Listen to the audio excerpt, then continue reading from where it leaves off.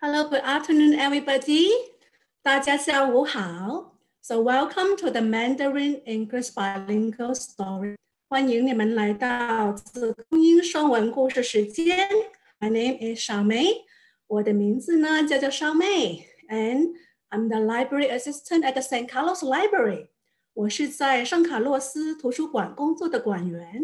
So San Carlos Library is part of the San Mateo Caris. 然后呢，圣马雕圣卡斯图书馆呢，圣马雕系图书馆之一。Now the library, uh, the library is open as 现在图书馆虽然关门了。但是一直为您开放。So please visit our website for online resources and online activities. 所以呢，请登录我们的网站 来了解我们的网上资源和网上活动。So if you have any questions, you're welcome to text us, send us email, or also call us. 那如果你有任何的疑问呢，你可以给我们发短信、发电邮或者给我们打电话。So you can find all the information on our website. 然后呢，这些资讯呢都在我们的网站上可以找到。All right, thank you，谢谢。All right, so before the story starts, I'm going to tell you what I'm going to use for the story time. All right，然后讲故事以前呢，我告诉你我会用到什么道具哦。I'm going to use scarves，我会用丝巾。哦、oh,，you can use your clothes，或者你可以用你的衣服。And I will use a shaker，我会用一个摇摇器。And also, I'm going to use my friend teddy bear. Or you can use a soft toys. 或者呢，我是用我的泰迪熊。如果你没有泰迪熊呢，你可以拿一个很软的玩具。All right. So please grab your tools while we sing the first song. All right. 现在呢，我给你时间去，你把这些道具可以拿过来。然后呢，我们唱这个第一首歌。So are you ready? 准备好了吗？So the song is called good afternoon song. Okay, so you're going to clap your hand on your side and clap your hand together like this. All right? 拍拍大腿，然后拍拍手。Okay, we count one, two, three. One, two, three. 一、二、三。Good afternoon, everybody. How are you? Clap, clap. Good afternoon, everybody. How are you? Clap, clap. We are glad you're here today on this special day. Good afternoon, everybody. How are you? Clap, clap. Alright, 好棒。OK, now sing in Mandarin. 我们唱中文版哦。OK。午安，大家好，午安，拍拍手。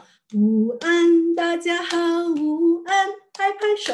很高兴看到你在这特别的一天。午安，大家好，午安。拍拍手，yes，很棒。Okay, good afternoon again. 下午好。Okay, all right. So the second song, because now it's afternoon, how about we do some afternoon stretch? 那既然现在是下午时间，我们应该做一下下午的伸展运动。All right. So I'm gonna sing a song called "This the Way We Hop Hop Hop." So I'm gonna use the same tune of "This the Way We Wash Our Face." All right, so we're gonna start with the, this the way we wash our face, then we transition to the song called This the way we hop hop hop. How about that? 然后我们会唱一首歌，是我们这样跳跳跳。但是呢，我们这个歌的曲调呢是跟我们这样洗洗脸是一个曲调，所以呢，我们先唱我们这样洗洗脸一部分，然后呢就换成我们这样跳跳跳。All right, ready? So we start with this is the way we wash our face. Ready? This the way we wash our face, wash our face, wash our face. This is the way we wash our face so early in the morning. This is the way we comb our hair, comb our hair, comb our hair. This is the way we comb our hair so early in the morning. Now we're gonna change now. Ready? This is the way we hop, hop, hop, hop, hop, hop, hop, hop, hop.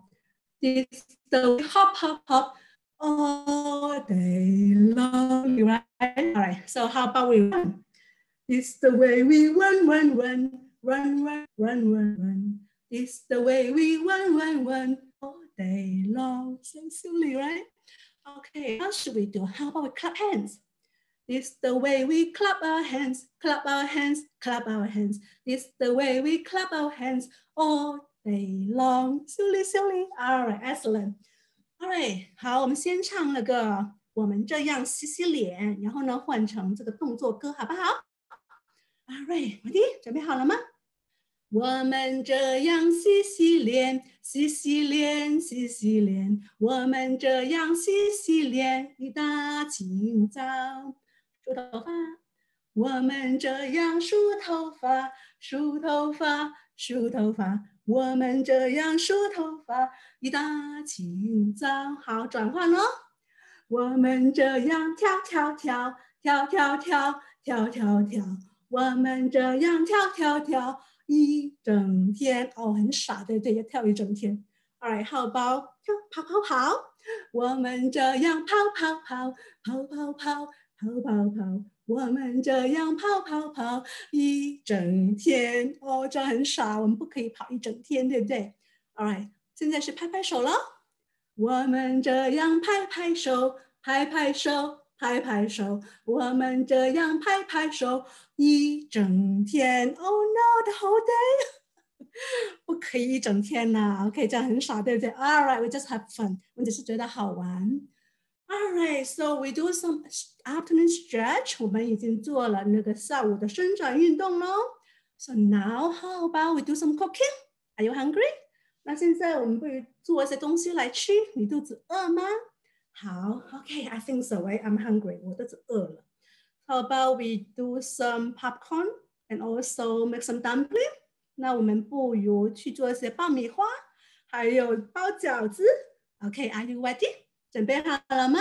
OK。Can you get your shaker? 你可以把你的摇摇器拿过来吗？OK，so one, two, three，一、二、三。Popcorn kernels, popcorn kernels, stir in the pot, stir in the pot. Shoot them up, shoot them up until they pop. Excellent. All right. So I'm gonna give you a little surprise later. Okay, we sing one more time. 再唱一遍. Popcorn kernels, popcorn kernels, stir in the pot, stir in the pot. Shoot them up, shoot them up until they all right, what do you see? Those are my paper popcorns until they Okay, excellent. 好棒, okay. Now how about we sing the song called uh, 包饺子 for some dumpling, all right? So you need to chop the radish, pan fry the radish, put everything into the dumpling wrap, fold them, and then pinch the edge to make the dumpling in Chinese. OK，包饺子准备好了吗？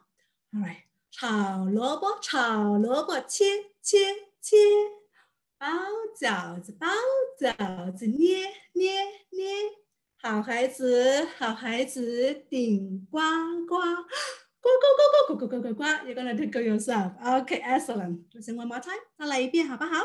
OK，炒萝卜，炒萝卜，切切切。包饺子，包饺子，捏捏捏，好孩子，好孩子，顶呱呱，呱呱呱呱呱呱呱呱呱。OK，and 好棒，好棒。All right, I think and now it's time to read our story. So this book will talk about caterpillars and also butterflies. 然后这本书讲呢，就是有关毛毛虫。毛毛虫，还有呢蝴蝶。Okay, so I'm going to share my book with you.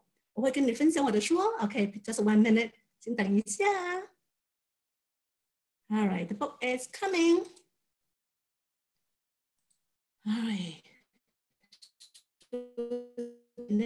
咱们再用 liquid，OK，、okay? Right, so I check out this book from Overdrive, that means Libby, alright. 然后我这本书呢是从呃 Libby 或者说 Overdrive 那里借出来的 ebook, so you can check out ebook from Libby also, alright. 你你也可以从 Libby 那里呢借网上的电子书。Alright, so this book is called Pete the Cat and the Cool Caterpillar》。然后这本书的名字叫做《皮特猫和很酷的毛毛虫》，by James Dean and also illustrated by James Dean。作者和绘画师呢都是 James Dean and published by Harper HarperCollins Publishers。出版社呢是 HarperCollins uh, 呃 Publishers。OK。好，我们开始。Oh, where's Pete? Do you see Pete? Oh, Pete Mama? Yeah, okay. Pete is on dog safari. 皮特猫呢，在野外找虫子。虫子在哪呢？我们找找。He and his friends are looking for bugs. How many bugs can they find? 然后呢？他跟他的朋友呢在找虫子，那他们能找到多少只只虫子呢？OK，let's find out。我们看一下哦。Oh, Holly spots a tiny black ant. It's building an ant hill, she says. Gooey, says Pete. 然后呢？ 这个叫做 Callie 的猫猫呢，找到了一只很小的黑色的蚂蚁。他说：“你快来看，快来看，他们在建一座蚂蚁山。”哦，皮特猫说：“嗯，好棒，真的好棒。” Gout finds a one red ladybug in the mint patch. It has nine spots, says Got. Nice, says Pete. 然后呢，Do you see the the ladybug? You see 你看到那个瓢虫吗？然后 God 呢找到了一只瓢虫，它是红红的、圆圆的，它在它躲在那个薄荷薄荷树里面，丛树丛里面。哦，我看到了，它有九个斑点。那个他的朋友说：“哦，好漂亮哦。”黑的猫说。What do you see here？这里看到什么？Spider and a what? A fly. Oh my！这里有什么呢？这里有一只蜘蛛，还有什么苍蝇？Marty sees a big black spider. It caught a fly, he says. Neat, says Pete. 然后 Marty 猴子呢，他找到了一只黑色的很大的蜘蛛。 而且呢，蜘蛛网上呢有一只苍蝇哦，真棒！皮特猫说：“He finds a green caterpillar in the flower pot. I will bring it home to show mom and dad,” he says. 然后皮特猫呢找到了一条绿色的毛毛虫在那个花盆里面，然后他说：“啊，我要把它带回家给爸爸和妈妈看。” Now can you help me to help me find the caterpillar？你现在可以帮我找一下那个毛毛虫吗？Where's the caterpillar？毛毛虫在哪呢？Let's look. Oh, you see it? OK，在这里，毛毛虫在这里。Excellent，好棒。Mom helps Pete build a home for the caterpillar. They use a big jar. 然后妈妈呢，帮皮特呢。 给那个毛毛虫建了一个家，他们就用那个什么很大的玻璃玻璃瓶。Dad puts lots of little holes in the lid for air. Bang, bang, bang, bang. 然后呢，爸爸用锤子呢在那个盖子上面钉了很多小孔来透气。Pete puts the caterpillar in the jar. 然后呢，皮特呢，皮特猫把那个毛毛虫放在那个玻璃罐里面，耶，好棒，excellent。Oh, what do you think the caterpillar is hungry? 毛虫会饿吗？I think so. 我觉得它会肚子饿。So what can we do? 怎么办呢？So Pete puts some leaves in the jar for the caterpillar to eat. Yum, so good. He adds a twig For it to crawl on，耶！然后呢，皮特猫呢把一些什么叶子呢放在那个罐子里面给毛毛虫吃，嗯，肯定很好吃。而且呢，他给他一根小树枝，让它爬来爬去，爬上爬下。嗯，好棒。Good night, Pete, says Mom. Good night, Pete, says Dad. Good night, Caterpillar, says Peter. 然后呢，妈妈说：“皮特猫晚安。”爸爸说：“皮特猫晚安。”他说：“毛毛虫晚安。” Okay, so they all went to sleep. 他们全都睡觉了。When Pete wakes up, the caterpillar is gone. Oh no! Where did it go? Did it run away? 但是等皮特猫醒来的时候呢，毛毛虫不见了。 他可以去哪呢？难道他逃跑了？嗯，Let's think about it。我们想一下哦。It is not gone, says Mom. It did not run away, says Dad. Look, they said. Okay，然后妈妈说他没有消失掉。爸爸说他没有跑走、逃走。然后他们说看，有这样新的东西，a new thing。I see. What? What's that? 你看到这个东西吗？这是什么呢？The caterpillar is inside there, says mom. It's called a pupa. 然后呢，妈妈说，你知道吗？毛毛虫就在那个蛹里面。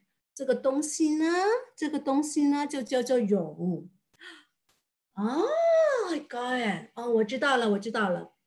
Will it stay in there forever? Pete asked. 那它会待在里面一整年吗？永远待在里面吗？不出来吗？No, says Dad. The caterpillar is changing into something new. 当然不会啦，它会变成一样新的生物。Oh, what will it become? Pete asked. It's a surprise, says Mom. We must wait and see. 然后呢，皮特猫就问了：“那它会变成什么生物呢？”这是一个惊喜哦，我们一定要耐心等待，它就会出现喽。Pete waits. Callie comes to visit. Did it come out yet? She asked. Not yet, says Pete. 然后呢？皮特就很耐心等待。然后他的朋友考里呢，就过来拜访。他说：“哎，那个毛毛虫从那个蛹里面出来了没有？”皮特猫说：“没有，还没有。” Pete wait some more. Gus comes to visit. Did it come out yet? He asked. Not yet, says Pete. 然后呢，皮特猫呢要很耐心的等待，然后他的朋友 Gus 过来拜访，然后 Gus 就问：“哎，毛毛虫出来了吗？”然后皮特猫说：“没有。” Pete waits even longer. Marty comes to visit. Did they come out yet? He asked. Not yet, says Pete. 然后呢，彼得猫很耐心的又等了等。然后呢，他的朋友 Marty 过来拜访。Marty 问：“哎，毛毛虫出来了吗？”还没有。彼得猫说：“嗯嗯，还没有。” Pete waits and waits and waits. Then one day, something finally happens. 然后呢，皮特猫很耐心的等啊等啊等啊，然后有一天，哦，该发生的终于还是要发生了，耶，好棒！OK，let's find out what happened. OK，我们看看会发生什么事情？What will happen? Right? The pupa start to wiggle. Something is happening, says it wiggles some more. Everyone comes over to watch. 然后呢，那个蛹呢开始在摇啊摇啊摇。哎，皮特猫说有事情要发生哦。然后呢，那个蛹在摇啊摇啊摇，更厉害了。然后呢，全家人都跑过来看了。 The pupa cracks open. Something is coming out.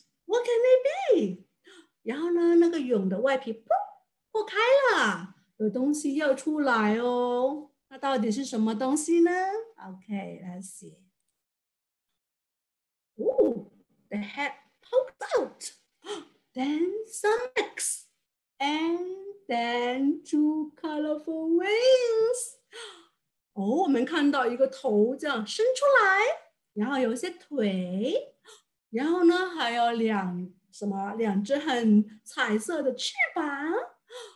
Oh, the caterpillar changed into a beautiful butterfly. Wow, says Pete. 原来呀，毛毛虫已经变成了一只很漂亮的蝴蝶。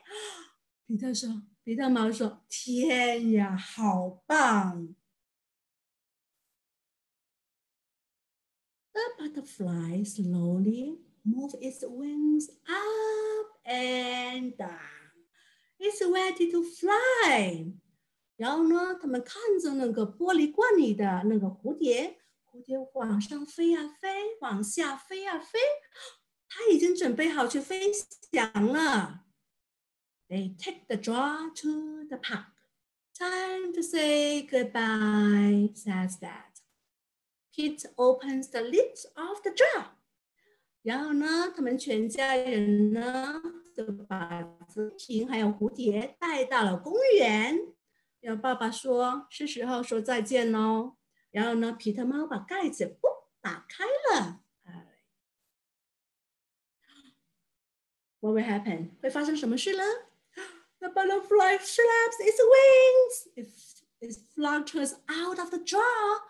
and lands on Pete's nose.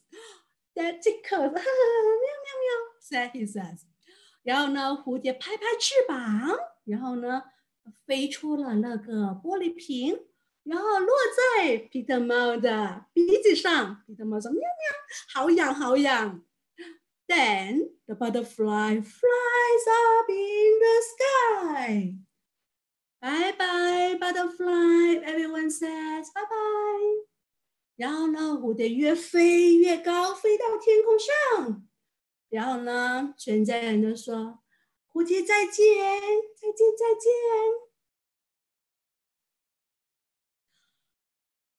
Can you can do you know what Pete's going to do？你知道皮特猫接着要干嘛？Let's find a new caterpillar, says Pete. Change is pretty cool. 然后呢，皮特猫说：“我们一起来再捉一条毛毛虫，知道吗？毛毛虫变成蛹，然后变成蝴蝶，真的太棒了！这种改变真的很惊人。All right, can you help me to find the caterpillar？你可以找到，帮我找那个毛毛虫吗？Where's the caterpillar？在哪呢？毛毛虫在哪呢 ？You find it？你找到了吗？Yes, it is here，在这里，毛毛虫。All right, the end，讲完了。Excellent. So I'm gonna stop sharing my book. 好，我们已经读完书了。Excellent. Okay.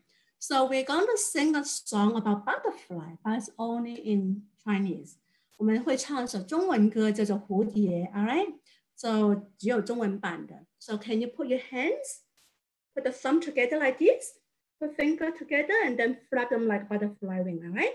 我们呢把拇指交叉放在一起，然后呢其他手指合起来，拍一拍，一张一合，像蝴蝶的翅膀。好的蝴蝶，蝴蝶生得真美丽，头戴着金丝，身穿花花衣。I have a surprise for you. 你爱花，我也爱你啊！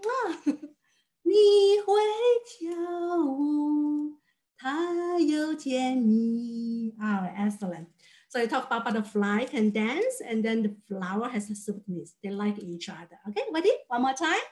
Okay, put your thumb together and then flap your fingers. Ready? 准备好了吗？ 蝴蝶，蝴蝶生得真美丽，头戴着金丝，身穿花花衣。你爱花儿，花也爱你。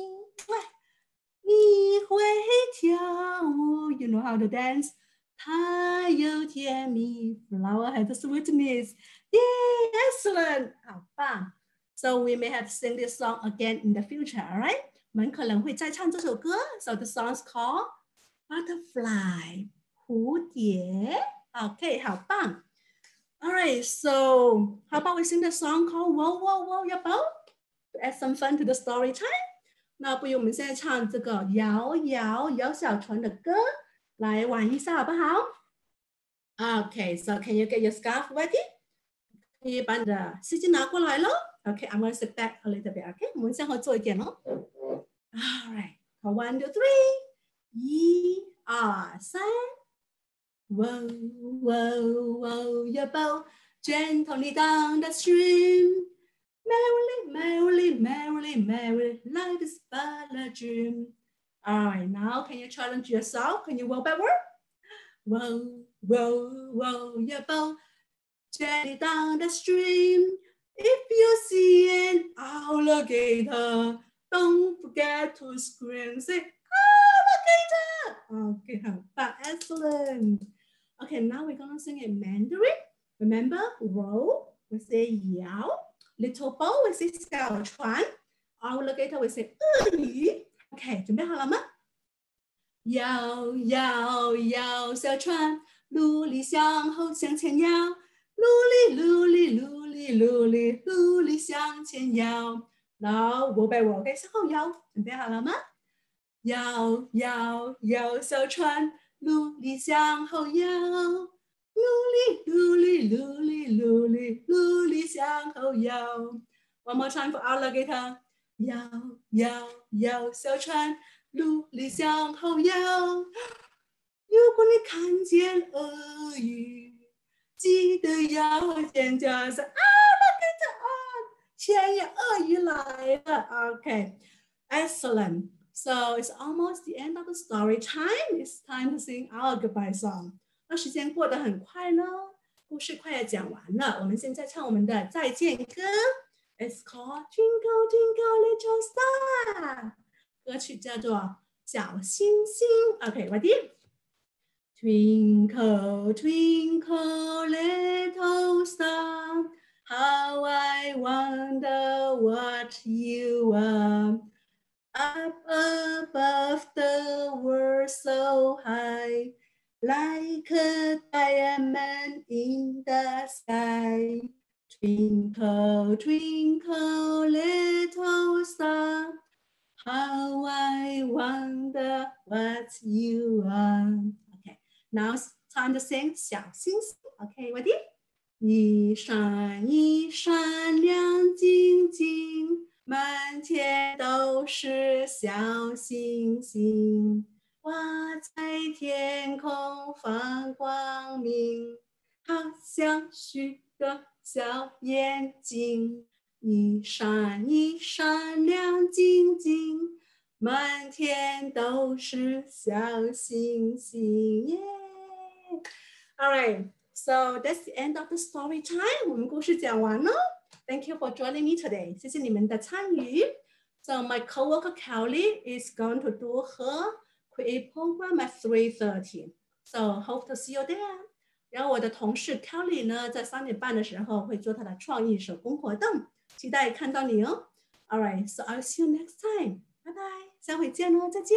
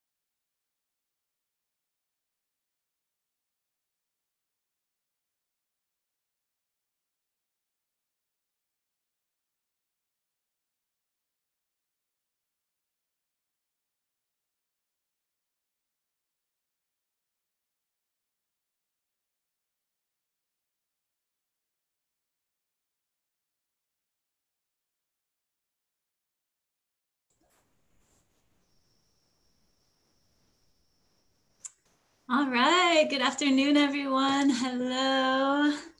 Welcome back to my program, Create with Kelly.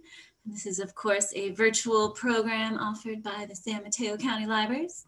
You may have seen me at the East Palo Alto Library. Shout out to all my friends in EPA and throughout the county. And today we've got a really awesome activity. I really love this topic of tie-dye, as well as making your own homemade dyes at home. And I'm gonna show you all kinds of possibilities, different ways of making uh, tie-dye and dyes. So let's go ahead and get into the presentation.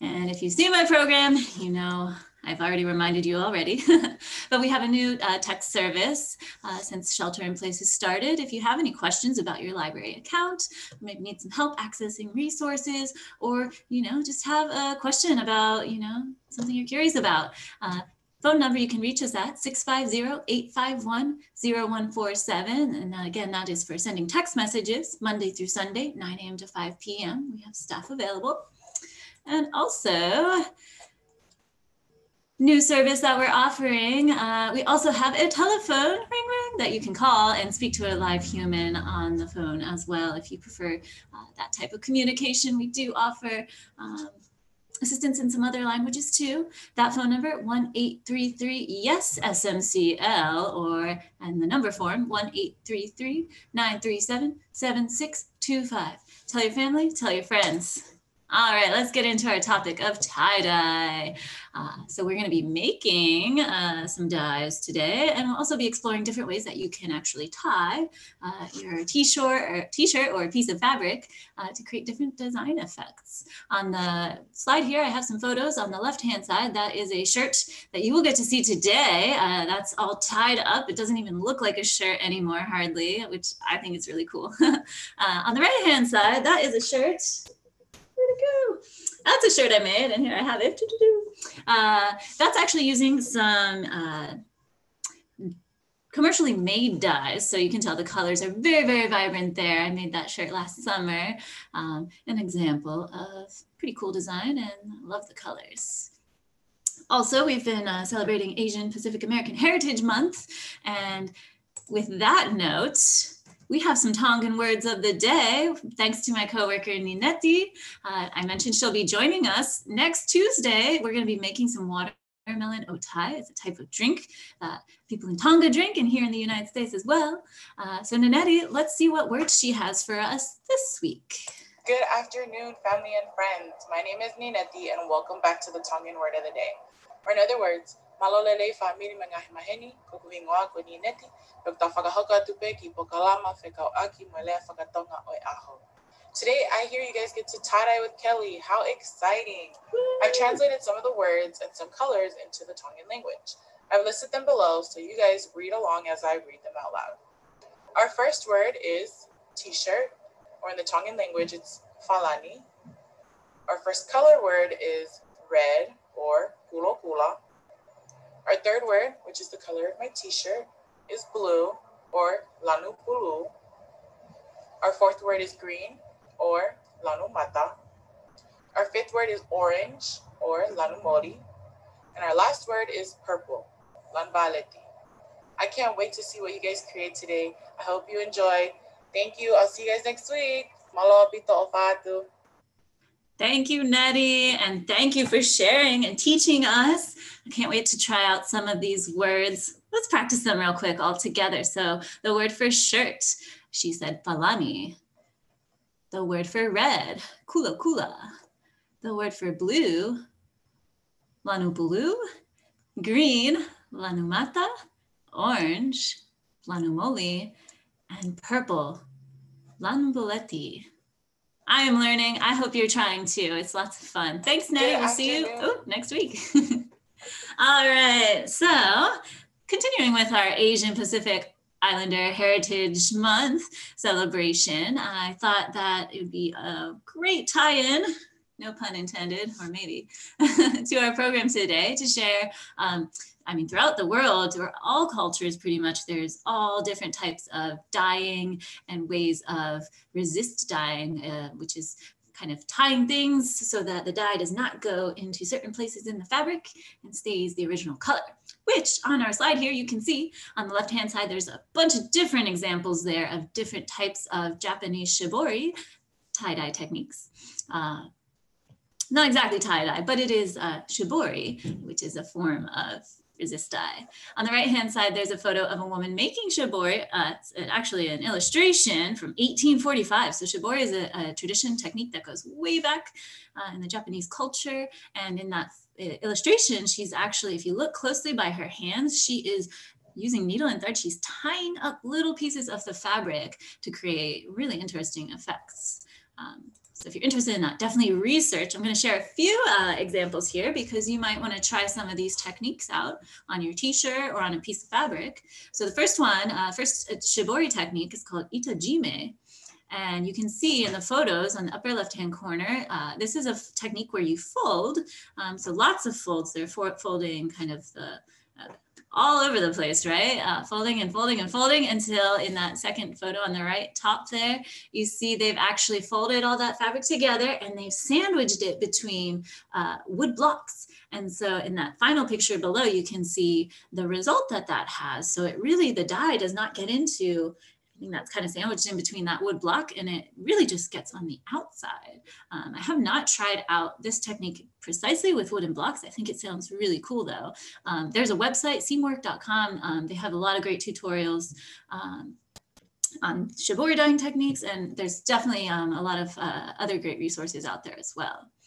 Here is another example of Japanese shibori. This is the kanoko style. And this one, um, if you've done tie-dye it before, this is a pretty uh, typical way to kind of get those uh, design effects, right? So you're simply uh, rolling, twisting your fabric, and then uh, tying it or uh, using rubber bands, right, to uh, section off pieces where essentially the dye will not go. And you can see on the left-hand side some examples where they've twisted the fabric and rolled it up and then applied some rubber bands in a couple different ways there. The right-hand side, you can see how those results look. So um, I think this one's pretty familiar. And I mean, there's so many different ways that you can uh, try this out.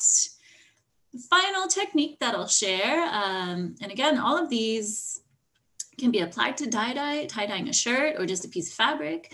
Um, this last Japanese shibori technique is the nui uh, style. And as you can see on the left-hand photo there, they've sort of scrunched up the fabric and they're actually using needle and thread to uh, hold those scrunches in place. Um, you can also do this uh, by scrunching the fabric together and then tying that big scrunched ball of fabric together. Um, so there's a lot of different uh, techniques you can try there and pretty cool results, uh, as you can see from the photo on the right hand side there. And since we have been sort of uh, tapping into the Tongan culture and traditions, I wanted to just share this resource so you can check it out on your own time. Um, I've been actually doing quite a bit of research into the Tongan tapa cloth or ngatu, um, and I found a really great Google Arts and Culture resource that I believe is the Kingdom of Tonga put together.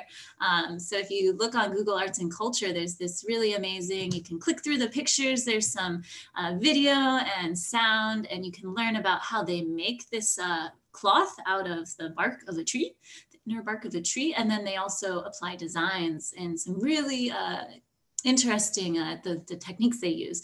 And Another great note is that it's very collaborative. The women in Tonga and elsewhere work together to create these beautiful and amazing pieces of art and handcrafts. So check it out. All right, so um, last bit about here uh, about things you can research um, since I'm not, I don't have time to go over all the different ways that you can create different tie-dye effects. Um, so I've recommended um, some tutorials or words that you can search for when you do some searching on the internet. On YouTube, I've watched a lot of Mr. Tie-Dye's videos um, and he goes really, he shows really in great detail how to, the exact steps of how to tie things up, fold them, scrunch them, so you can get certain design effects. So check out his videos if you're, you're really into that. Um, and then furthermore, you can try searching tie-dye techniques or tie-dye designs. And there's a lot of other great resources out there. I find the videos to be pretty helpful. Um, on the photos here, we have left-hand side, that's a shirt that uh, you'll see a photo of here in a moment. You can see it's kind of all, again, it doesn't even look like a shirt um, as it's all rolled up and tied together. Uh, and then on the right-hand side, that's a photo I took while I was tying up um, the shirt we saw at the beginning of the presentation. See it again, just a few moments. Uh, this is definitely a topic I love a lot. I've had a lot of fun experimenting with homemade dyes. Um, did you know that you can make dyes out of red cabbage? which actually looks purple to me, but we call it red cabbage. Okay. Uh, you can also make dyes out of turmeric, which is a, a, type of spice. It's a root that people use in cooking. Uh, I have some of that dye here today. You can make dyes out of coffee, black beans. I have an example of that. You can make dyes with beets, avocado skins, blueberries and Kool-Aid, which is a little less natural, but uh, certainly pretty accessible. Um, and there's lots of other materials that you can make dyes out of. Um, I've tried most of these. Uh, haven't tried the avocado skins, but I hear that produces a pink, pinkish dye. So um, a lot of times it's very surprising, uh, the, the, actual result of the dyes. Uh, and I have a lot of fun just like with this process by itself. Um, I like making the dyes and seeing how they how they turn out. So here is an example of a shirt you can see in the photo.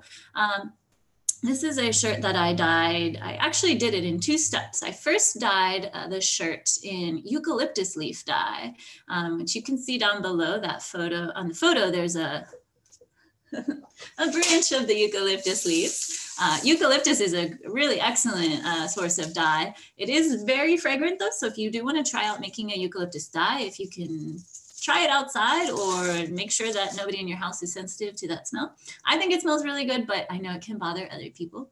Uh, and eucalyptus produces sort of, in this case, it's a very light, uh, sort of light brown, reddish brown. Um, but I have done on different types of fabric where it's like almost red. It's really beautiful. And I find branches of eucalyptus when I'm out riding my bike or walking and they've already fallen off the trees. So it's a great way to get some material too.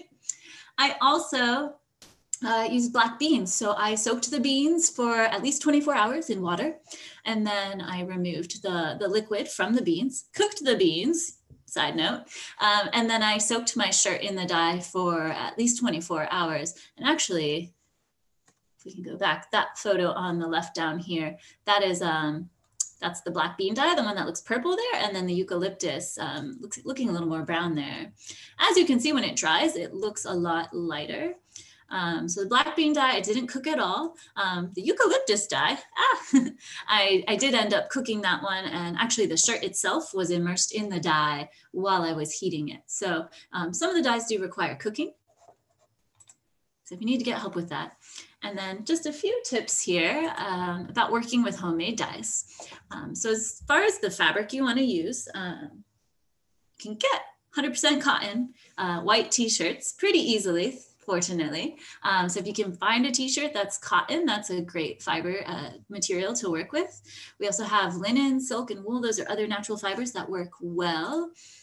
Um, you can also try using a fixative or a mordant that will help the dye to almost the, the words I'm using are stick to the, the textile, to the fabric itself. So I've actually done that today and I'll show you in just a few minutes.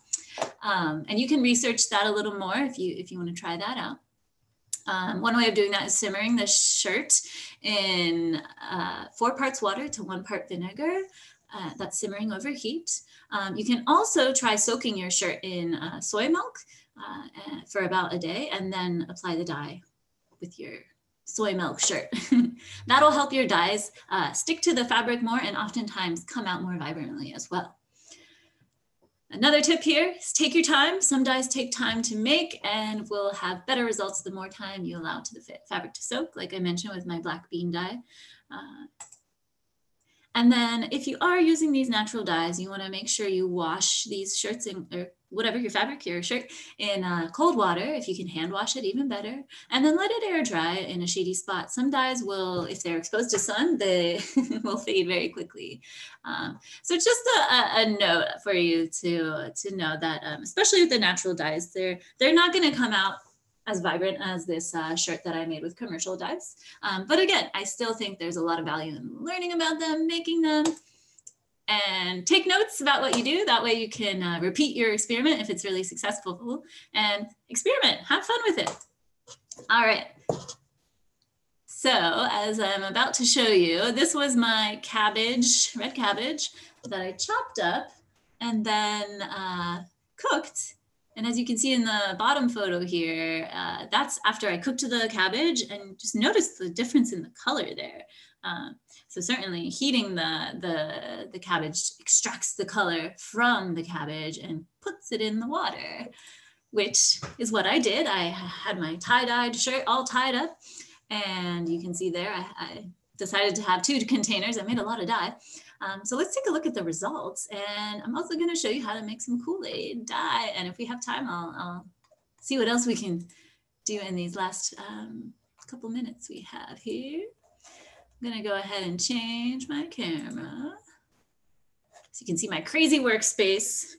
So here's that shirt. Uh, you can see it's actually a nice like light purple color. Um, this was the black bean dye that I used for that.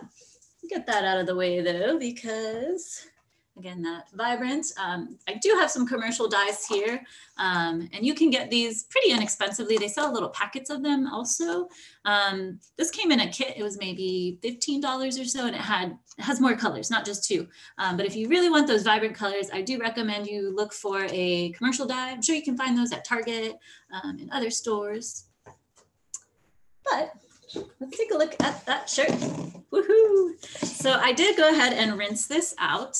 Um, and you'll notice the color is pretty light. I don't think it shows up as well as maybe in person, uh, but I'm going to go ahead and let's see. I decided I was going to do half of it because I'm also doing this program in Spanish, uh, en español, en una semana. So if you speak Spanish, definitely check out that video. Um, also, so you can use rubber bands, of course, to uh, tie up your fabric or shirt. Um, I like to use, it gives you, it's a little easier to work with than applying lots and lots of rubber bands, I find. Um, this is an artificial sinew, which is um, essentially, it's sort of like a waxed uh, yarn cord of, of sorts. Um, and this is what I use to make all of these ties. Um, and you actually don't have to like knot it each time. Uh, there's different ways to just keep wrapping it. If you watch Mr. Tie-Dye, I think it's really mesmerizing to, uh, to watch the way he uses his hands to control the fabric, make it do what he wants to do. And let's see, let's see how fast I can release this. Guess that's one thing if you put lots of ties I'm gonna go in there and cut. and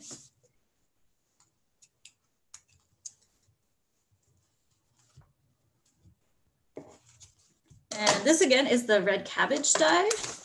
And I will note as well, um, this shirt in particular, I actually simmered this shirt over heat in water and vinegar.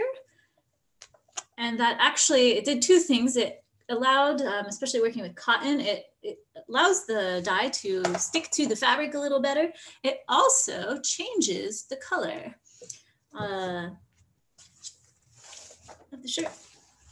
All right, so now I definitely, I will say, I tied this bit a lot tighter. The bottom portion was a little looser, um, so it kind of has a little bit of a kind of marbled look. Although again, it's, it's probably a little difficult to tell. I think it does translate a little bit though to the to the camera. It looks almost white, uh, but for comparison, I do have a white shirt here. So it's definitely not white. It's actually a really pretty uh, light pinkish uh, color. I wish we could see a little more contrast there, but you know, it is what it is. Let me show you. So I mentioned this one has uh, vinegar rather. And now this is the same dye. This is a purple cabbage, red cabbage dye. And you can maybe tell it's a different color actually. This one I did not use vinegar. And then again, got a lot of stuff here. this is my white shirt for contrast. So, you know, there's definitely, um, with my red cabbage dye, there's, uh, these are again, cotton shirts. So uh, that's one thing I forgot to mention is that depending on the type of uh, fiber you're using, whether it's cotton, silk, uh, or wool or anything else, that will also is another variable in, in the, the dye result. Um, but I really wanted to show the effect of having vinegar and not having vinegar and how they both turned out uh, actually pretty cool. Now this, uh, this shirt did have, you can probably see there's a little bit of blue. Uh, it was already dyed a little bit, so it was white with this blue dye. Um, so that's what you're seeing there, but this kind of purplish, purplish bluish color. This cotton and cabbage dye. All right, so I might actually uh, do something with this in just a moment. Also got a fresh white tea here. Let's see if we'll have some time to get into that. But I did want to mention how to make the Kool-Aid dye. So this is one I've already prepared. Um, and you can uh, look online as well for different types of recipes. This recipe I found is using um, about an ounce of water per packet of Kool-Aid. Um, so it's not a ton of dye, but I have, I think I ordered like 12 or 18 packs of, of Kool-Aid for this. Um, so I, I, guess if you made a lot of different colors or you had a color that you really liked, you could make more of it. Um, but just keep that in mind. There are different recipes. This one is doesn't produce a ton of dye and it's orange. So it's blending in the table with the table. So, but you can see here, um, I've applied it to, um, this is actually a silk fabric and the silk really, uh, really likes to, uh, it likes to be dyed for sure. It, it'll definitely be a little more vibrant than if I were to do it with cotton. Let me, I was curious, I'm gonna make, make some Kool-Aid dye here. Now this one is uh, mixed berry flavor. What color do you think it's gonna be? Pack's blue, but berries are different colors. Let's find out. Now, I'm, I'm, I guess you could probably do this with uh, pretty much any other kind of powdered juice mix. Uh, the thing about Kool-Aid is it does not have sugar added to it, which I was reading and I was like, what? Um, so I'm not sure like other types of juice dyes, if there's sugar in there, if that might have a chemical reaction. Hard to say. Anyways, uh, let's go ahead and it's looking like it's going to be blue, though. Probably looks white to you. All right, so I'm gonna pour in, I'm just guesstimating, it's at an ounce. That's probably a little more than an ounce. And I'm gonna, smells really delicious. I mixed this orange one earlier and my my workspace was smelling very orange, artificially orange. and my hypothesis was correct. The package was blue, the dye is blue also. Okay, so let's go ahead and this uh, this was just a little piece of fabric. Actually, let me, let me grab another one. So again, this is the, the silk.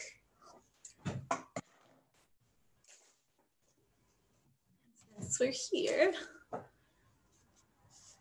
I'm actually gonna, I wanna try out, I, you know, I haven't been using my uh, Tongan words Blue. Lanubulu. I like that one. Lanubulu. And then we have orange. Lanumoli. Lanumoli. All right. So I wanted to also practice, that reminded me, I wanted to practice maybe one of those uh, shibori techniques.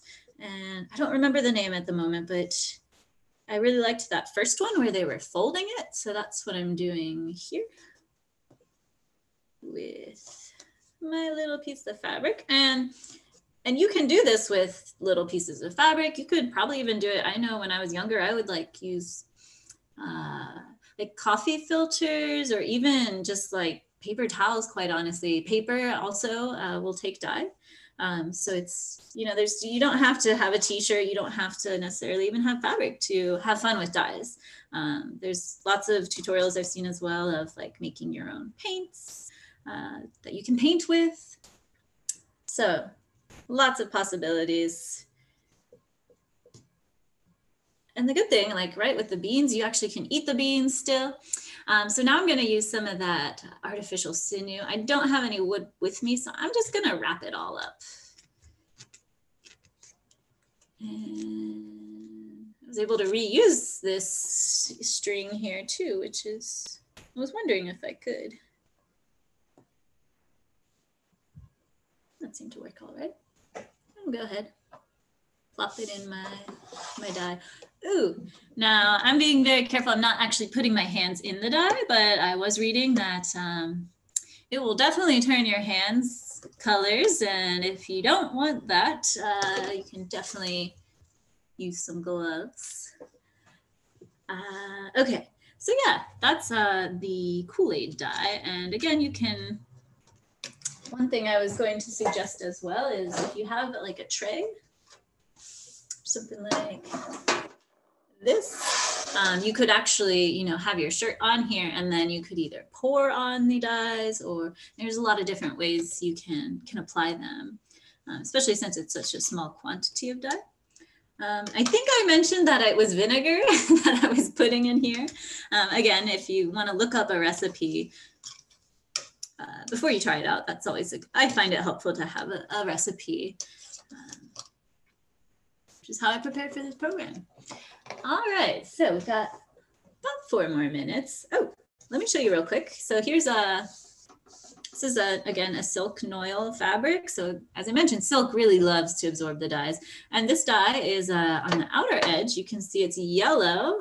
Uh, we didn't have the yellow word for it in Tongan. That's okay. Uh, but in the middle, it's brown. So the middle was made with coffee and the outer was used with turmeric, which I do have here. But let's get a shirt ready. Since I have just a couple more minutes, I'll show you some additional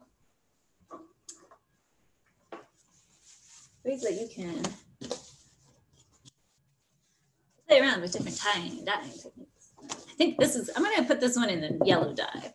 Um, so this, this uh, shirt has been soaked in, uh, actually simmered. I put it in a pot and put four cups of water and a cup of vinegar. And I essentially like cooked it. I simmered it over the heat for maybe half an hour or so. And that's, you know, allowing the dye to, or the vinegar to soak into the fiber. And that will help the dye to absorb into the fiber. Now, I'm not sure what I want to do yet. And if you follow Mr. Tie-Dye, he's got so many great ideas. I think for now, I'm gonna do some folding and I'm just gonna fold up like this.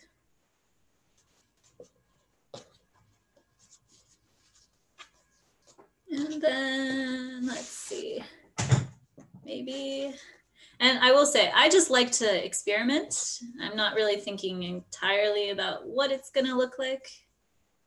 I'm just like having fun. I will say, I think for me, I like the folding techniques.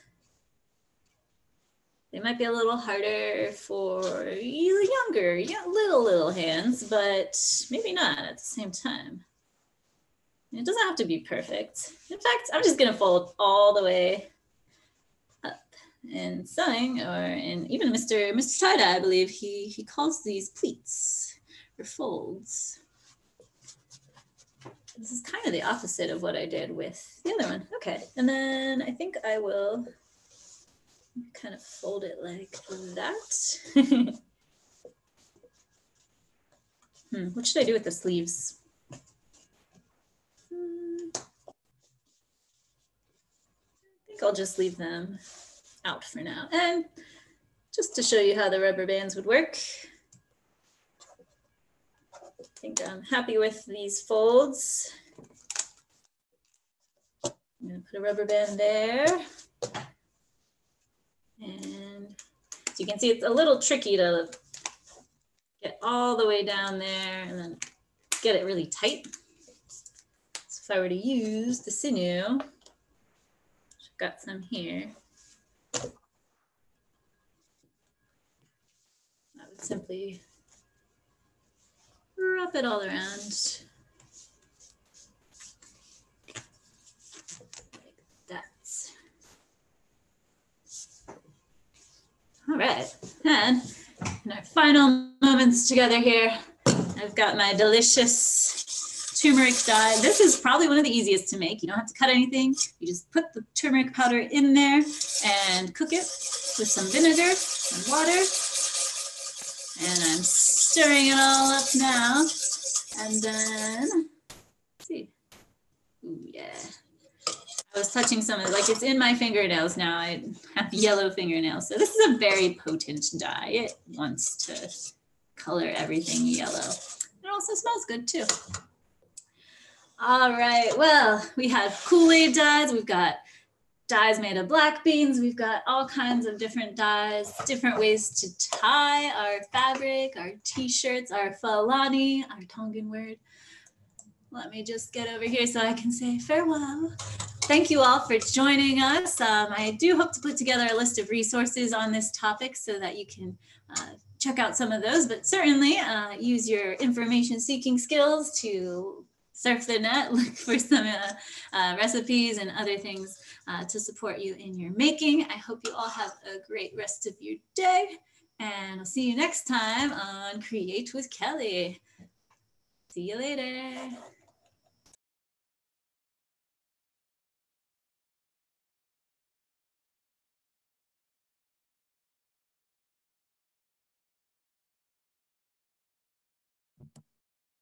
Hello, thank you for that, Kelly. That was really cool. I might have to try some of those dyes. Yeah, you never really think of it as being something that you can just kind of like do at home, but that's how dyes get made. It's true. All right, but in the meantime, hello everyone. If you just came off of Kelly's program, please feel free to stick around for uh, Debbie and I. We're back for another round of afternoon doodling. My name is Lynne. I work for the San Mateo County Library System. You may recognize my face from the other art streams that we've been doing, or maybe from the Belmont branch. And I kind of just introduced you, but do you want to go ahead anyway? yeah, no problem. Hi, I'm Debbie. Uh, I also work for San Mateo County Libraries, and usually you would find me at the Millbrae branch. All right. So we have a bit of a Oh, a bit of a laid back day today compared to the past couple weeks. So for the past two weeks, I've been very self-indulgent. I made Debbie give me expression prompts to draw with a couple of my own original characters. This week, my wrist needs a little bit of a break from doing mad dashes of drawing. So I thought it might be interesting to go over the drawings we ended up with in a little more depth to kind of talk about what I was thinking while trying to recreate the expressions that I was prompted. And I also have a little bit of a shorthand cheat sheet for some of the shorthands that we've talked about occasionally in terms of like signifying emotion, especially if you're looking to be a little more anime. So let me go ahead and share my screen momentarily. You've been drawing a lot lately. A lot. Oh, okay. A little I've been working much. on um, my own side project where I'm trying to get a comic done by the end of June. And I'm officially technically in the last stretch, but it's something I've been doing since the beginning of March. And oh my goodness, my hand is feeling it. Oh no, yeah, you gotta rest it. I mean, that's yeah. I'm very proud of what I've managed to do.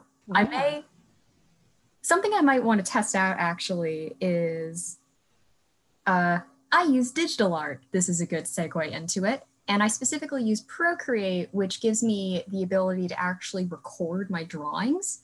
And because I am a heathen, I draw several different comic pages all in the same document. So they're all in different layers. Oh, So it's a nightmare to show people, but it makes for a really cool video Oh, because you see multiple pages being made. that is cool. So I'm curious if that would actually run in Zoom. I'm not sure if anyone would be interested in that, but that might be another like put a pin in it. I need a break day. yes, for sure. but um, in the meantime, I thought I'd start off with a little bit of a go over of some of the kind of like, especially anime emotion shorthands that we've kind of talked about and sort of clarify what they tend to be used for. So, any extras that you think of, Debbie, feel free to shout them out Okay. because I just did the first things that kind of came to mind for me. I'll try to think of some too. So, in terms of little details that you might be adding onto a face that you've drawn in order to like try and emphasize what it is they're feeling, these are kind of the first general symbols that I think of. So, if you want to show someone is feeling mad and angry, what you'll often see are these weird little guys, either four of them or three of them. And what they usually are meant to signify is like a pulsing vein, which is meant to show that this person's like really, really incensed. Like they're so mad that it's almost bulging out of their skin. So whenever you, where they get put tends to have a lot of liberties taken, especially if you're going really, really cartoony. You'll sometimes even have them just like floating around the character's head. But if you want to make a little mark that shows this person is mad, angry veins. Yeah, usually right on that forehead, right? Mm-hmm. That's where it's supposed to be, but Yeah. whether it's actually put there is wildly varied, but that's what its origin is. All right. And then another common one that is often shown are sweat drops. So if someone's feeling a bit nervous about something, I included two versions because this is actually what I tend to use, which is a little subtler. So you have the face, yeah, and then like right on the cheek, there's tiny little sweat drop. Whereas what you'll often see is you'll have the face and you have like a big old sweat drop right on the top of the head but they're kind of meant to show the same thing. There's something about the situation where they're they're they're not quite sure of themselves. Nervous is the word. Yeah, I feel like that big, the big sweat drop. That's definitely very much a Japanese manga anime uh, Mhm. tip. Yeah, very very much yeah. like that one especially. hmm But you'll see characters sweating when they're nervous, even in like other cartoons. They just tend to lean a little more towards like quote unquote realistic, but specifically exaggerated, like you see it running down them. hmm Whereas what you'll often see in Japan is just like sweat drop appears, lower slightly for animation. Right. And then next up is one thing that I like to add to a ton of my drawings, which are sparkles.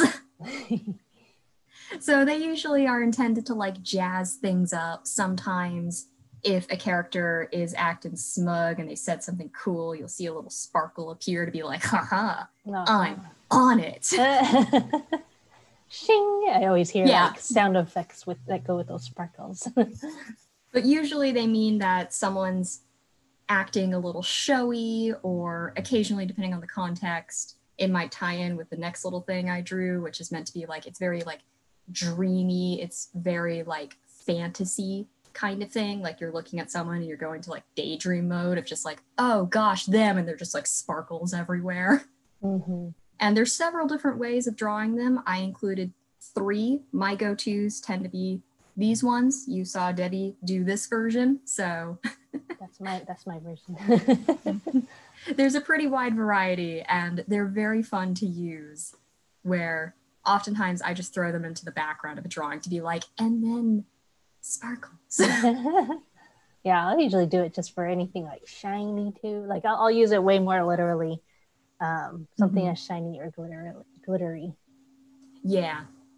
Yeah, like obviously you can use it for real life things, but emotions tend to indicate that someone either is or thinks they're on top of their game, whether Mhm. it's themselves or like a person they're looking at.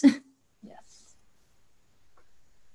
And then next up, I feel like this is the most difficult to tell what I'm talking about drawing. I may briefly go into a blank canvas and demonstrate this with a cheat sheet brush that Procreate actually has.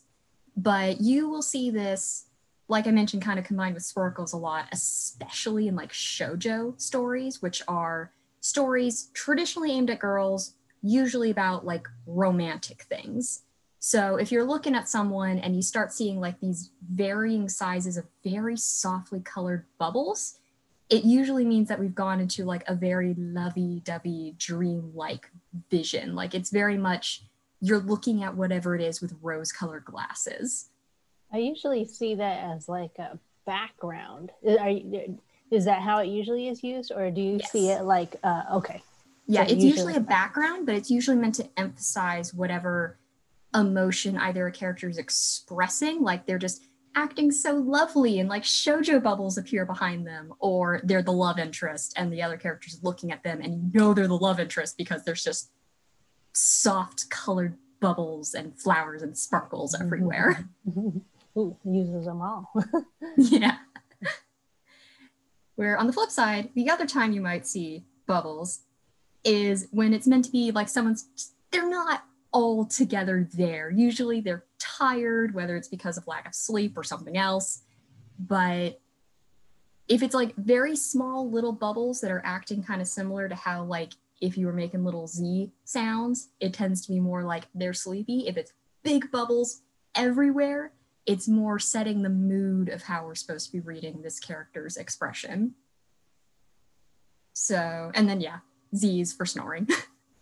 and I was thinking, like, I wasn't sure if you were going to mention when I first started reading manga, um, when what one of the things I was confused about was uh, a traditional way of communicating somebody is sleeping is that big Oh, the snot bubble. Yeah. Yes. it's like a big snot bubble coming out of their nose. And I'm like, what does that mean? Like, I always thought that was very strange.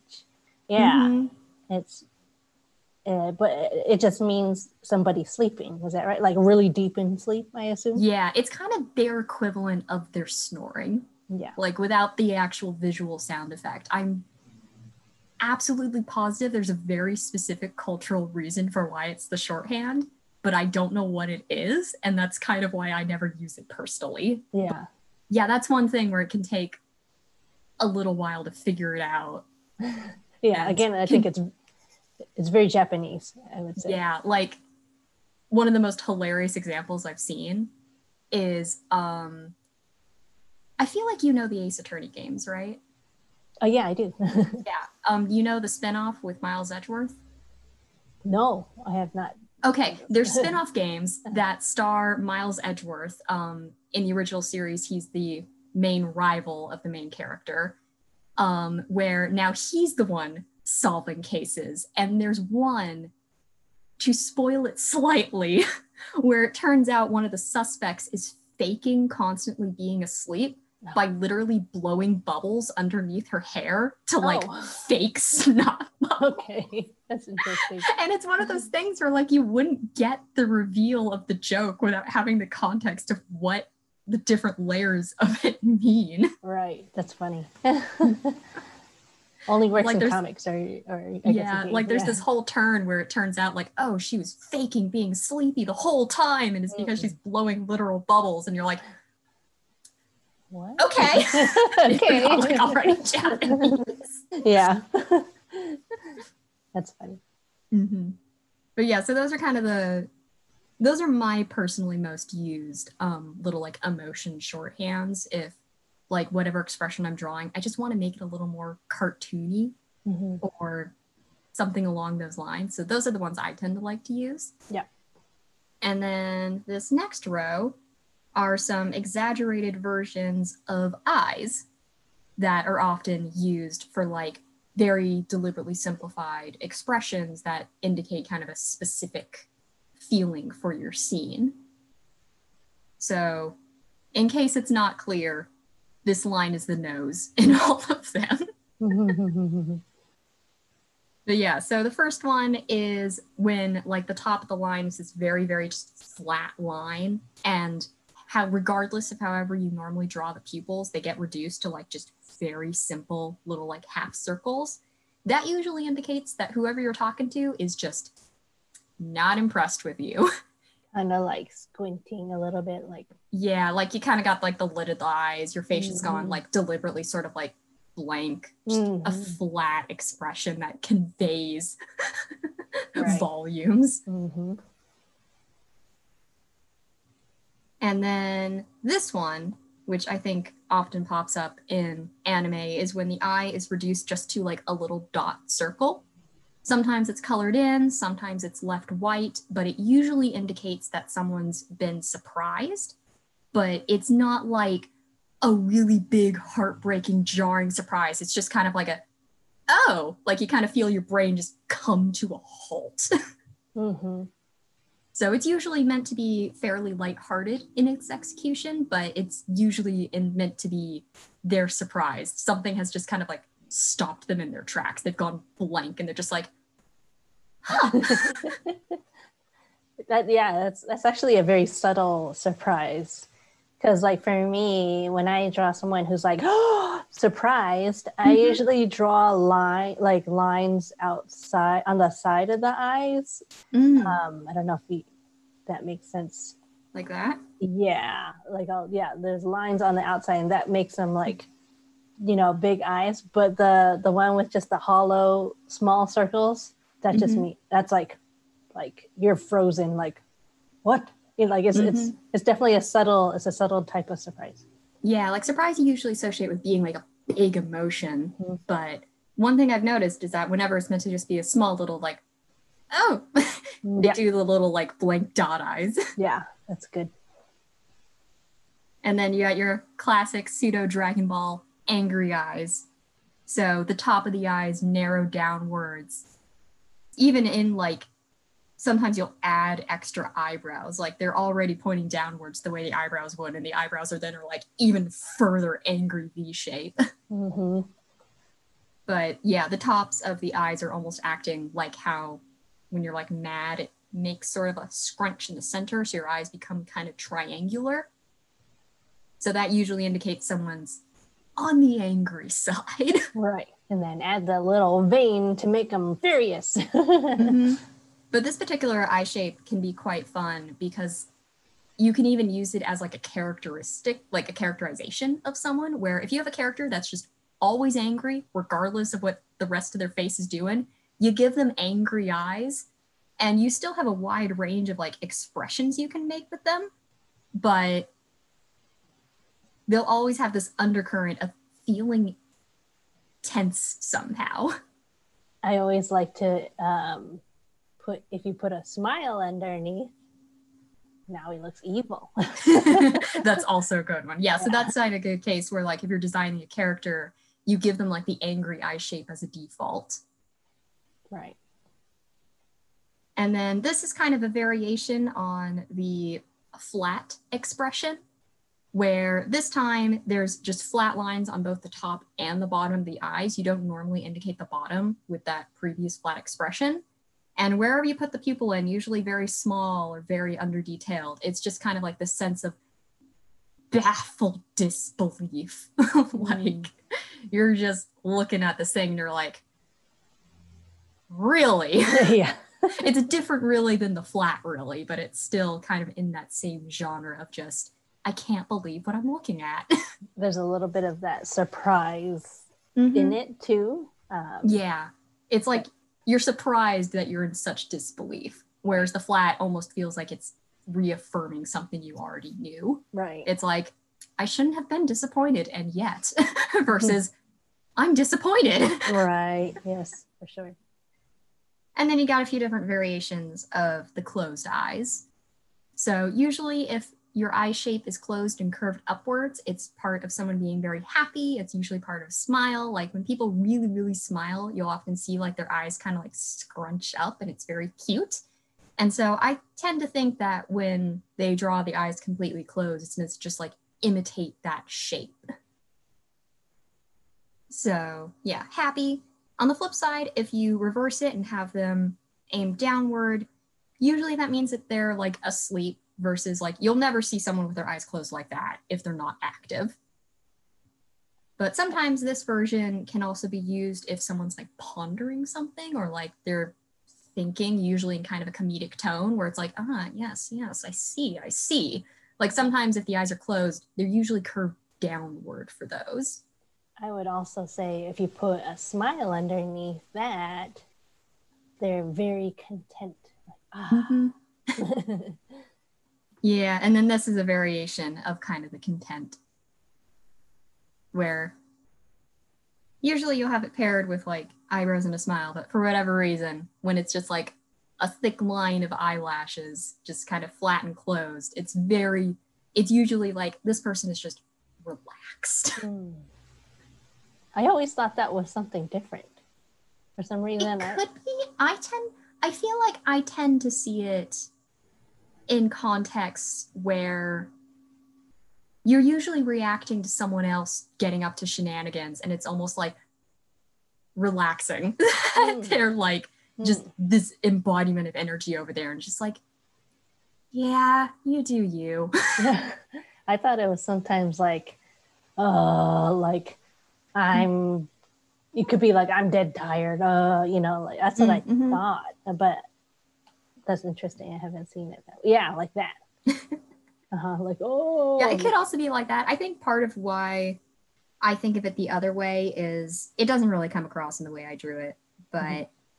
oftentimes if you leave a lot of white space, even when like eyes are closed, you'll still retain a sense of like how anime tends to draw its eyes with lots of sparkles and things, which usually indicate like someone's like energetic, full of life. And so when you leave white gaps in the closed eyes, it kind of still carries that visual cue over. Mhm. And so when the eyes are drawn in like this very flat way, but you still see a lot of white space, you kind of get that carryover sense of there are sparkles here. I see. So that tends to be how I read it.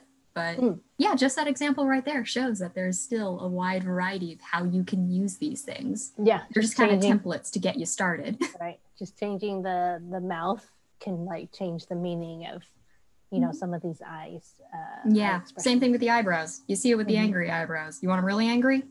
You add the V. If you want it to be a little more neutral, but just have like that undercurrent of this character's angry, you just do neutral eyebrows. Mhm, Suddenly they're not actively angry. It just feels like it's part of a personality trait. right that's awesome All right. Well, that filled the time better than I thought. So there's some more i was thinking like you you asked me if i could think of some more yeah, we could I- either do more or my original second part was to kind of talk about some of the choices I made with these. Yeah. Okay go ahead So yeah, because hmm, I'm trying to think where to start. Maybe just some of the details that I tend to like to use in order to like easily indicate different feelings or emotions. Like, I love doing eye bags. Mhm. like they tend not to have a very solid direction but i find that they add a lot of character and even if like your eye shape stays relatively the same regardless of how you're drawing it when you add little like extra lines underneath or even a lack of them it gives a different feeling to what the drawing is And I think it kind of goes hand in hand with that like sketchiness theory as well. When things are a little messy, they feel they can feel a little more lifelike almost. It almost feels like you captured something in motion because it's not a perfectly straight, smooth line. right So yeah, I absolutely adore doing eye bags. Usually either um, at the bottom or sometimes like right on the side where the kind of corner is. hmm And sometimes I, I'd say like you could use eye bags for uh, in context. You can use eye bags to make somebody look more aged too. Mm-hmm. So like someone who's older, you would maybe add some eye bags or crow's feet or something.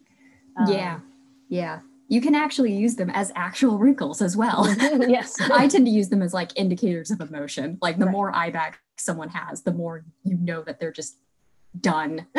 right, right. That's interesting. Like to think of these lines as like literal or totally like you know it's a it's a language. You know. Mm-hmm.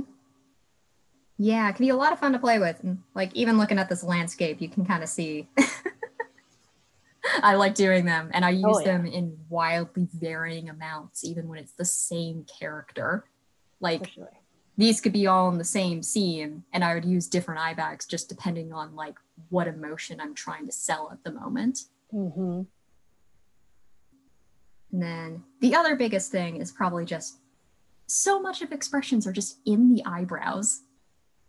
Like you can completely change how something feels depending on whether it's like, oh, I'm sad and hopeless, upturned, please, please help me, versus the angry downward, I am not selling this at all, just please give me the thing. I don't think you mentioned the like uneven eyebrows where. One is like maybe straight and the other one is up, and that's more like um, suspicious, I guess you could say. Mm-hmm. Or, Yeah, you say that, huh? yeah, yeah. Yeah. That's always another I like to do that. That's always I do that a lot too.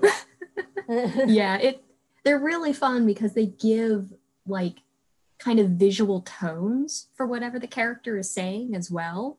So you can have the same little blurb of dialogue, but depending on the face that your character is making next to what they're saying, it can change how the reader reads it. hmm So, like, let's just say someone's saying, really, but it's coming from a face like this versus a face like this hmm versus a face like this Really? versus a face like this. Really? Like the little crying laughing. Like, it's the exact same thing. And there's plenty of ways you can play with speech bubbles as well, which are super fun. But even without having to change that, the way you read the character changes the way you read the dialogue. hmm And let's see what. I definitely encourage, yeah, to you know, viewers if you're like you know working on your characters, definitely play with all those expressions because that's how you can get like the subtleties that you might need to convey, you know, how your character is um, feeling. So yeah, Mhm. definitely explore that.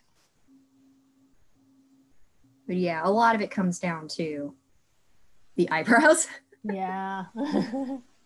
it's all I mean, it's all a package deal, I'd say, you Mhm. know, like you didn't talk about your mouth yet. You know, I don't know if you want to do that in the future, but like I can again, like, try. yeah, I mean, I feel like the mouth can there's a lot of ways you can uh express a mouth and you know to give more expression too, you know. Yeah.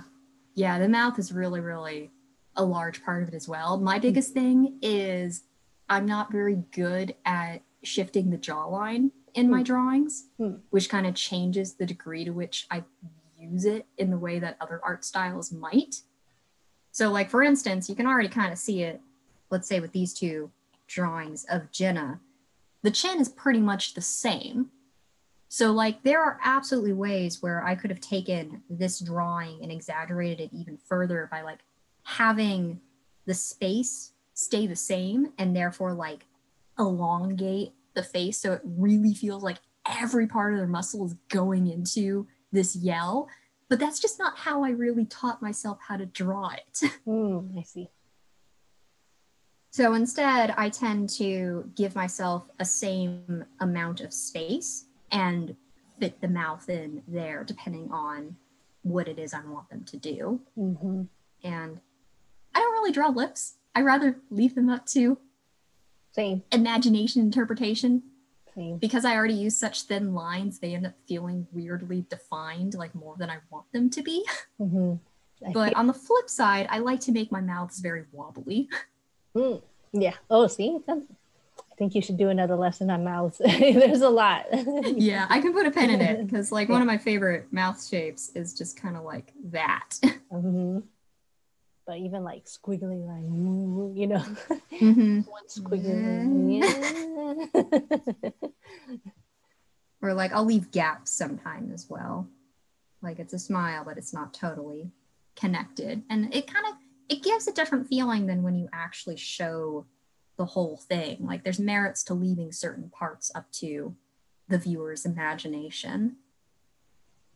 But yeah, I can, I can try and see if I can come up with a lesson I think there's, on that. I'm I think not a good amount. sure how much I'd have to talk about. Oh, I mean, I think it's like similar to, you know, all your, your eyes, what you Mm, talked about with the eyes. I think uh, there's probably an equal amount of mouth expression as well. Yeah, that's very true. There are also like mouth shorthands. Like Mhm.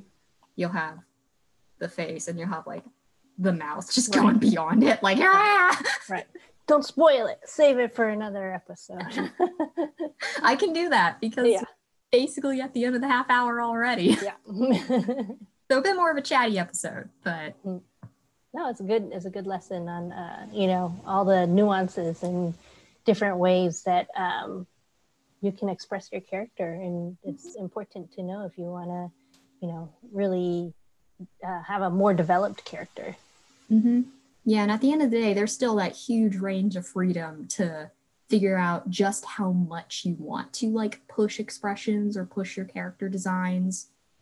Or like like I already mentioned, like I'm pretty sure I conveyed furious decently well, even without like that extra emphasis that other artists may have been able to do much more naturally than I tend to. Mhm. So, yeah, the more expressions you do, the more you can start to learn your character and learn which visual cues and shorthands you like to work into your art. And it definitely, yeah, it develops your character even more, make it a much richer, richer character in mm-hmm. terms of, you know, All right, but in the meantime, that does bring us officially to the end of the half hour. So I hope everyone watching had a good, fairly chill time. My wrist thanks you for it. yeah, get some rest. yeah, I'm so close to getting the project done though. it's one of those yeah. things where it's like, ah. don't don't injure it. I've done it No. before. Don't do it. No, yeah, I'm dreading that. This is the closest I've ever gotten, which is still decently far off. I'm still stretching, but Mhm, mhm. I, I've never had this much time to draw before, and I'm realizing that. Yeah. But on that note, thank you all so much for tuning in. Um, we are the last program that is queued up for today, but we've got a whole bunch of stuff that's happening throughout the week. Um, Debbie and I will be back tomorrow for another art program. Uh, there's story times, there's open labs. There's um, Debbie, I believe you're doing another program as well with Kasha, aren't Not you? this Where you're week. talk not this week? Not this week, but uh, but tomorrow Kaja is going to be doing an instant pot program. Yes. so that should be fun. yeah, it should be very fun. But um, as always, the easiest way to keep up with us is at our website at smcl.org. That's the best place for all the easy links to all the cool things that we are doing. And otherwise, I hope you have a great rest of your day and I hope to see you tomorrow. See ya.